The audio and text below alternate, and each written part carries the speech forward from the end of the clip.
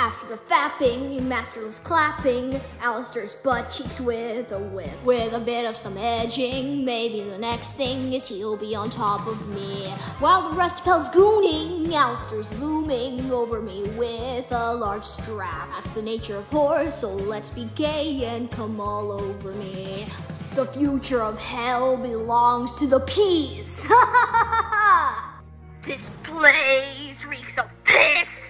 There's a strap on in here, and I barely escaped getting pissed on my rear. Great Alastor, the femboy needs BBC. I don't want to chop, I just need your warm seed.